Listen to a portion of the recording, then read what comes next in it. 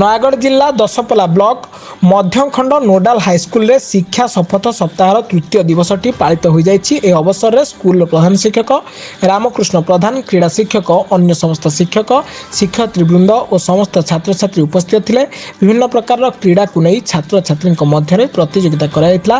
ସେମାନଙ୍କ ମଧ୍ୟରୁ ପ୍ରଥମ ଦ୍ୱିତୀୟ ତୃତୀୟ ପ୍ରତିଯୋଗୀ ବଛାଯାଇଥିଲା। ଆସନ୍ତା ସ୍ୱାଧୀନତା ଦିବସ ଦିନ ଚୟନ ହୋଇଥିବା ପ୍ରତିଯୋଗୀମାନଙ୍କୁ ପୁରସ୍କାର ବିତରଣର ବ୍ୟବସ୍ଥା ମଧ୍ୟ ଅଛି ଦଶପଲ୍ଲାରୁ ବଳଭଦ୍ର କରଙ୍କ ରିପୋର୍ଟ ପ୍ଲାକେଟ୍ ନ୍ୟୁଜ୍ ଓଡ଼ିଆ